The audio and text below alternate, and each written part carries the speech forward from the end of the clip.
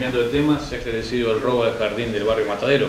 Eh, sí, eh, sí, eh, este, gracias diríamos a la colaboración también de los vecinos que, llamaron a, la policía y entregaron los elementos que estaban vinculados con el robo.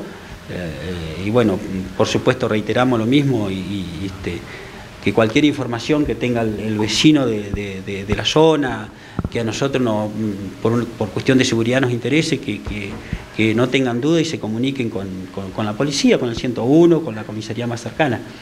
Este, bueno, e, esa es la, información que, nos llegó. Este, eh, se secuestraron eh, prácticamente todos los elementos que, se habían sustraído del, jardín eh, y bueno, y fueron restituidos en este caso ya a, los directivos del, establecimiento. Repasamos esto, el Jardín Maternal 2403 ya tiene todos los elementos para eh, que se habían eh, sustraído en aquel entonces, tanto las notebooks, los micrófonos, los parlantes. Sí, sí, sí, prácticamente todos los elementos están en, incluso ya están en poder de, la, de los directivos del establecimiento. Están en un patio, ¿verdad?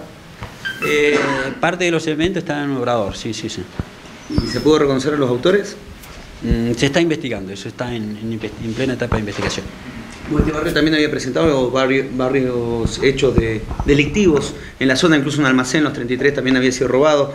Eh, ¿Se conoce si hay una conexión entre un hecho y el otro? Eso, eh, eso está en manos de la, Fiscalía y nosotros seríamos incluso de la, Brigada de Investigaciones y es muy prematuro eh, este, mencionar eso, se está trabajando, así que este, la información en este caso la tendría la Fiscalía si tiene algún tipo de conexión o no.